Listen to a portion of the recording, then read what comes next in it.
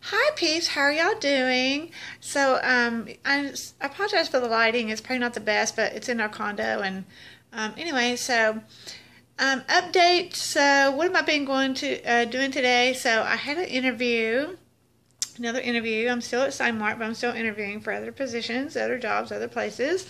So, um, and that was for another concierge position. And so, hopefully, I'll get that one. Cross my fingers.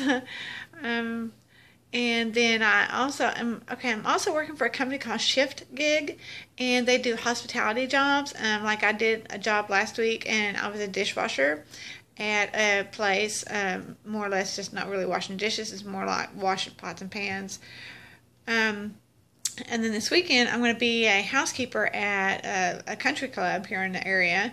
So um, that's for three days. That's a good. That'll be a good three day paycheck, you know. So anyway, so I'm just doing different things and just trying to bring in some money and stuff like that. Um, so anyway, not much is going on. I'm just looking for jobs and or better jobs and things, you know, money a job that will bring you know pay me more that I can so I can you know make a living and um, you know just help myself.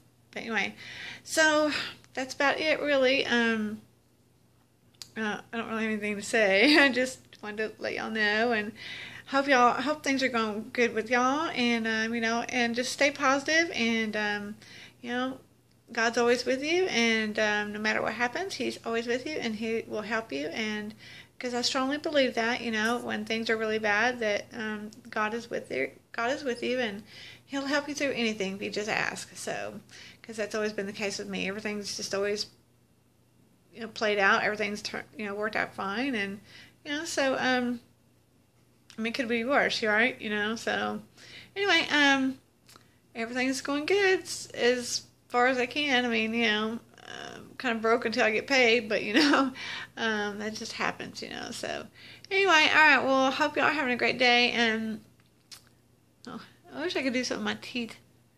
Ugh, they're awful but i can't afford it so right anyway so um hope talk to y'all later. Bye